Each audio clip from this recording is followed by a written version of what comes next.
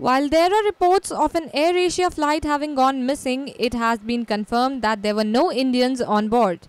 Budget carrier AirAsia on Sunday confirmed that its flight QZ8501 was on its way from Indonesian city of Surabaya to Singapore and had lost contact with air traffic control. The Airbus 320-200 had 155 passengers and crew on board. No Indians were on board the missing flight. The plane had 149 Indonesians, 3 people from Korea and 1 from Singapore, Britain and Malaysia each. A search and rescue operation has been launched.